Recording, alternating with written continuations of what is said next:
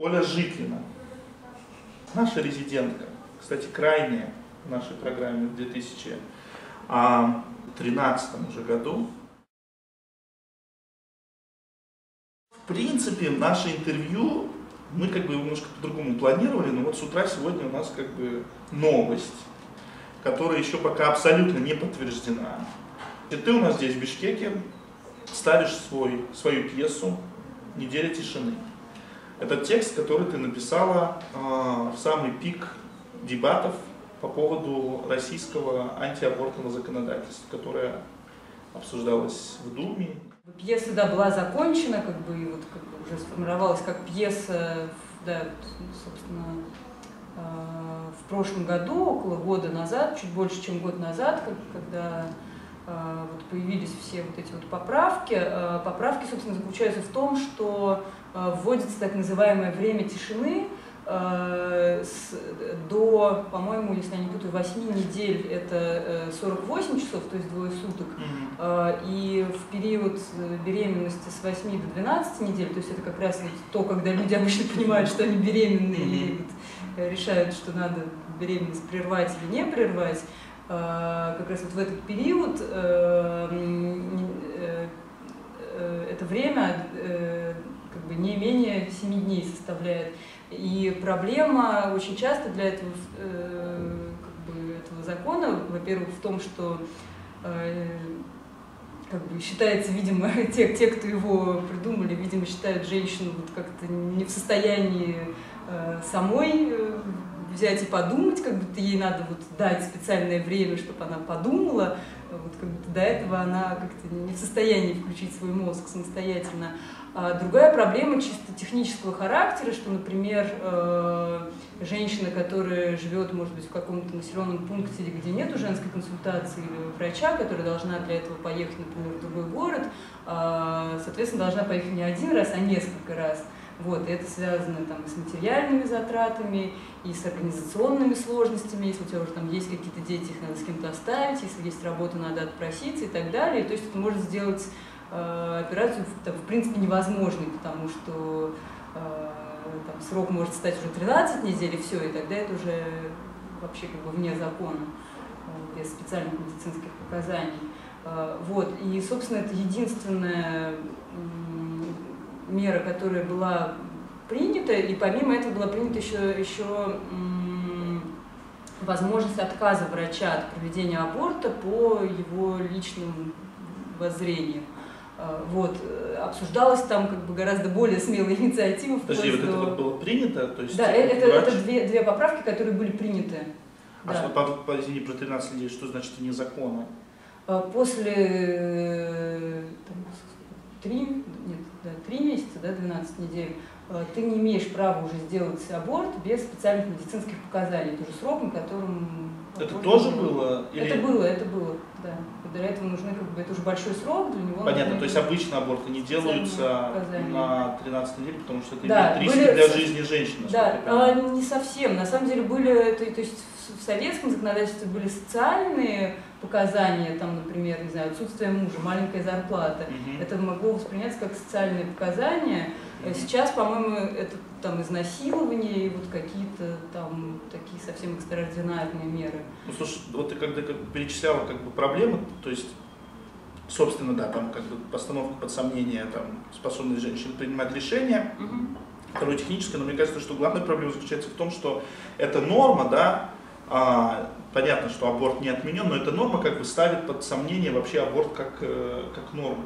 Да, то есть в этом самая главная как бы, проблема, да? Да, конечно, то есть интенция тех, кто продвигал э, этот закон и вот гораздо более там, далеко идущий законопроект, она в том, чтобы запретить аборты вообще, и никто не скрывал, что это было лобби Российской Православной Церкви, с которой, собственно, сегодня даже в Киргизстане... Да, вот и чтобы, как бы, какова наша история. На самом деле, да, этот спектакль, он ставится, мы планировали его и планируем до сих пор, потому что у нас никаких пока а, никакого ответа официального от театра нет.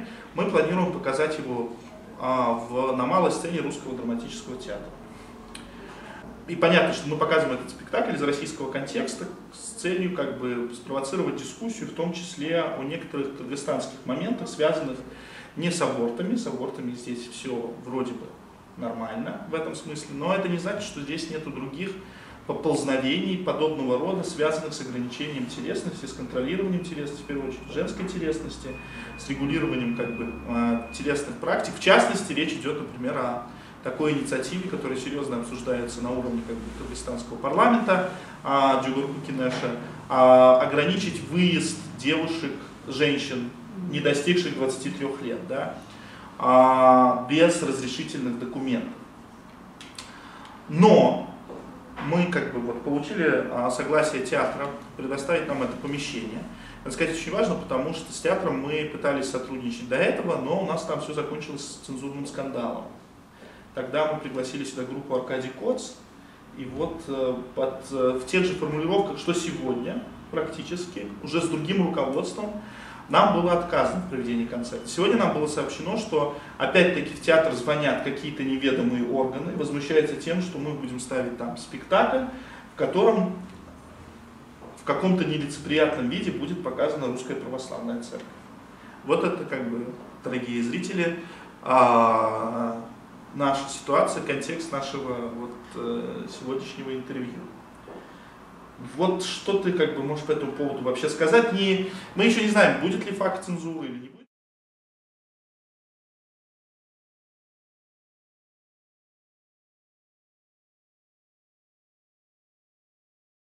Ну, это, конечно, такой любопытный сюрприз для меня, потому что э, я бы скорее ожидала такой э, ситуации в России, где мы сейчас тоже находимся в ситуации, когда цензура не может ожиданно, ожидаемо или неожиданно э, возникнуть, и это уже, в общем, для меня не секрет, по крайней мере, вот с осени прошлого года я даже получала письма, в которых э, от менеджеров институций, которые, вот, менеджеры которых считали возможных, возможно попросить художников не делать э, политические работы, вот этот Минск просто. Но понятно, что это как, как бы была цензура, которую очень легко можно было обойти, как-то очень абстрактно сформулирована, и, соответственно, э, которая на самом деле, вот кроме такого легкого оскорбления, не содержала в себе э, настоящей цензуры. Э, ну, в такой ситуации, что прямо вот хотели снять спектакль, как-то пока мы в России не сталкивались, может быть, это просто было в силу вне, э, такого менее пристального внимания к нашим скромным персонам. Мы показывали этот спектакль уже в Москве и в Петербурге, и там вот как-то это не вызвало никаких вопросов. А, у институции, потому что сейчас мы опять-таки имеем дело с некой институциональной цензурой, mm-hmm. да, то есть а, с цензурой институции, да, я бы вот не, не был и как и в прошлый раз, как и в случае с Аркадием Коцем, да, что дело тут как бы не в государственной какой-то цензуре. Хотя она здесь тоже имеет место, да, тут, тут был запрещен фильм «Я гей-мусульманин» на кинофестивале подписанием там а, Государственного комитета национальной безопасности. Тут как бы мы имеем дело, конечно, не с... А, потому что мы вообще никаких законов не, не нарушаем, ничьих чувств не, а, не оскорбляем. Вообще вся эта ситуация, когда, э, которая началась, понятно, с, с, с Pussy Riot, все это столкновение, да, такое, которое, которое, которое сейчас имеет место, продолжает так или иначе существовать, а, это очень интересная ситуация, в которой как бы церковь пытается поставить, будучи как бы активным игроком на а, политическом как бы, пространстве, в публичном пространстве, да, а, делая высказывания по поводу различных там, аспектов светской вообще жизни, политики, да, внутренней, я не знаю. А, при этом а, любую критику себя как общественного института да, приравнивает к оскорблению чувств верующих. Ну, на самом деле, это даже не с Пусирает началось, а, наверное, там с Авдея Тарганяна или там еще с Олегом Евроматией, то есть уже тогда стало понятно, там, что вот любые какие-то такие откровенные выпады в сторону православной церкви могут быть э, в России, по крайней мере, уголовно преследуемы. Ну да, это вот. были... Сейчас, да, сейчас это уже такая, но ну, это были единичные случаи, да, да, да. и вот, наверное, да, просто после Пусирает это стало уже такой совсем тенденцией, и РПЦ перешло в откровенное наступление, э, и, конечно, в принципе, это такая в России очень устрашающая ситуация, кроме шуток, э, потому что это как бы это, в общем-то, помимо того, что такое прямое нарушение Конституции, вторжение в законодательную сферу, это еще такая атака на просто школьное образование, где пытаются, ну, собственно, то, против чего и протестовал, по-моему, Олег Мавромати, да, когда он там вбивал в себя гвозди. То есть, как бы, о, о том, что Россия это в принципе там многоконфессиональная страна, в которой еще, в общем-то, довольно-таки большой э, процент населения составляют атеисты, как-то все забывают. Да, вообще, что Россия это светское как бы, государство. Да, что, что это светское государство, и что э, на самом деле это доходило до анекдота, когда э, вот в новости как-то просочилась информация о том, что в Петербурге э, святая, святой водой как бы вот окропляли водопровод. То есть вода, которую мы сливали в туалете, это была святая вода, освященная вода. Вот, как бы, как это надо понимать с точки зрения там, православных, атеистов, э, людей других конфессий, вот это как бы такой довольно-таки большой вопрос. Меня как бы поражает тот факт, что в принципе а, да, церковь как бы, она занимает такую как бы, позицию активного а, участника общественных процессов, который оказывается вне критики вообще. То есть, в принципе, можно критиковать как бы президента, можно критиковать правительство, mm-hmm. да, можно критиковать а, там, парламент, да, mm-hmm. и, но церковь критиковать нельзя. То есть церковь находится вне критики. Ну да, да, то есть как бы... Потому что критика церкви равно критика, то есть критика института, да, институциональной политики, участие в общественном процессе, а, приравнивается к, к оскорблению да, верующих. Угу. Про вообще саму формулировку оскорбления чувств верующих можно вообще как бы отдельно говорить, да, на самом деле. Там, я, например, всегда могу сказать, что мои атеистические чувства вообще как бы оскорбляются на каждом, растоптаны, да. Но как-то вот такой формулировки нет. Но даже если как бы согласиться отчасти там, а, с ней, да, то как бы почему она должна отменять как бы критику церкви как а, как института. Но знаешь, мы, наверное, с этим будем разбираться по ходу, да, вот посмотрим, что состоится наш спектакль в этом театре, не состоится. А, тут как бы надо сказать, что предыдущее руководство театра было просто вопиюще одиозным, да. А, и как бы ожидать от него подобной цензуры было вполне как бы логично. Вот э, это новое руководство, да, это директор театра, который как бы публичный человек, журналист, да, типа такой поборник э, свободы слова, да, ну, который там, в телефонном разговоре сказал, что ему звонили из органов, и вот он хочет познакомиться со сценарием, да, но как-то это тоже все очень сильно настораживает. Ну да, я, кстати, могу тоже добавить, что, собственно, Российская Православная Церковь в сценарии Петербурга... Э, русская. Да, Русская Православная Церковь, извините.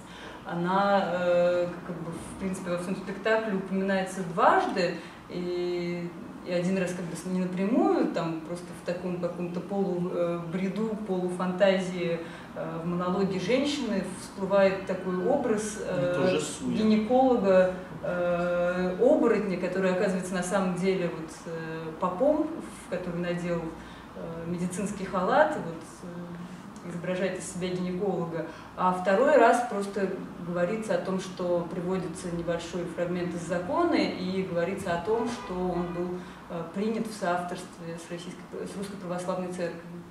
Вот, собственно, это как бы все.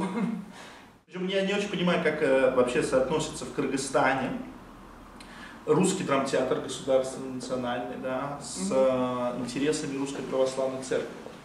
Ну, видимо, так же, как и выставка династии Романовых на баннерах.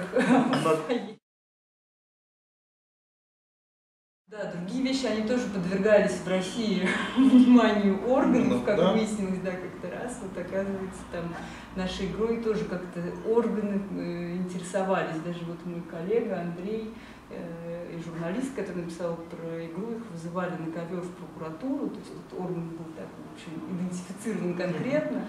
Вот, ну, как, как бы, собственно, вот, диалог с органом состоялся, органам было все разъяснено.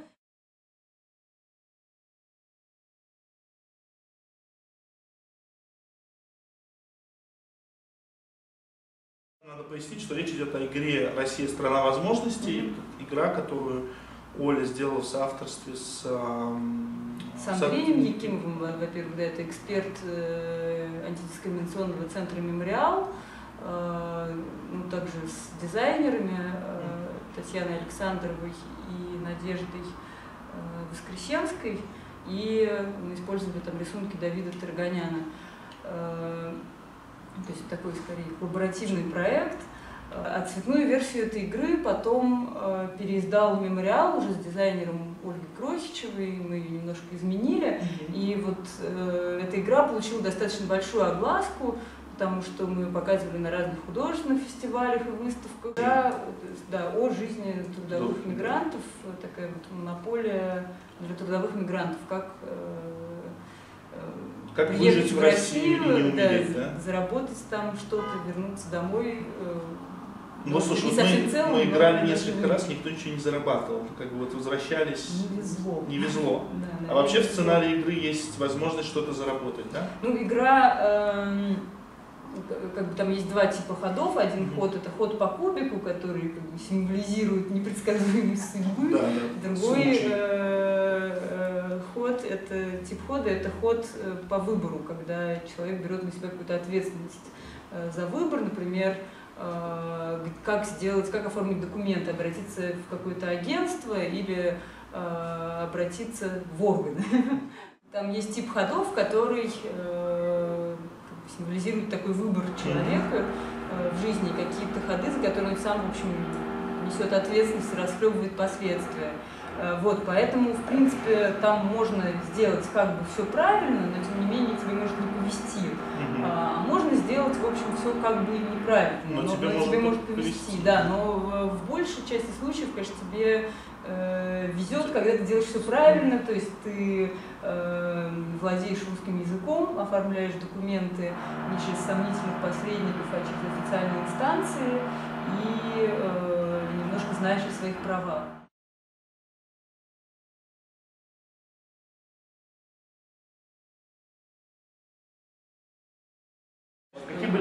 У прокуратуры вот в связи с этой игрой, как бы посвященной жизни? Ну, на самом деле, их не было, видимо, много вопросов. То есть они просто как бы спросили, что это, как бы зачем это, как-то их, их, их любопытство было быстро удовлетворено. То есть это а вот они не объяснили, откуда там поступил сигнал, почему они вообще этим заинтересовались? Было довольно-таки много масс-медийного внимания к этой mm-hmm. игре, и вот, собственно, вопрос, вопросы прокуратуры возникли после публикации в то, то ли, я, честно говоря, не помню, какая это была газета, но какая-то такая очень популярная газета. Э, вот, журналист, который пришел в мемориал, они поиграли с Андреем в игру, вот, журналист побыл в, этом, как, вот в этой роли трудового мигранта. Ну вот возникли какие-то вопросы. Mm. Вот. Может быть так, просто досужий интерес, я не знаю. Такое что же бывает.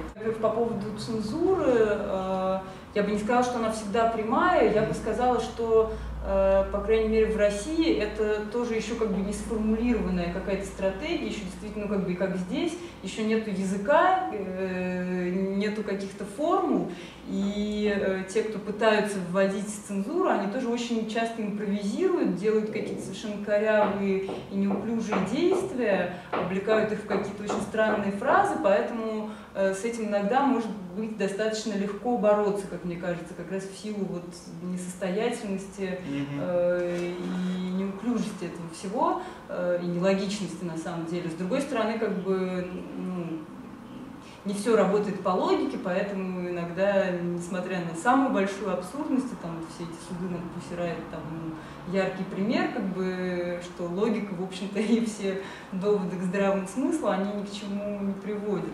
Э, поэтому это довольно-таки такая непредсказуемая вещь.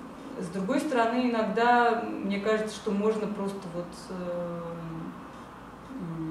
что, что и цензура иногда исходит, что, что цензура это часто инициатива каких-то людей, которые, в общем, сами не понимают, чего они боятся и зачем они эту цензуру пытаются вводить. Я бы не разделял как бы цензуру, которая инициируется там каким-то государственным институтом, и цензура, которая вот там есть какая-то частная инициатива, будь то институции, будь то отдельного какого-то функционера, как бы на всякий случай, а, а чтобы там чего не вышло. Потому что, мне кажется, это как бы все равно вещи одного порядка, да, некого такого вот а, некой параноидальной э, ситуации, такой коллективной паранойи, участниками которой являются все, да, и как бы там то, точно определить, где ее как бы центр, нельзя.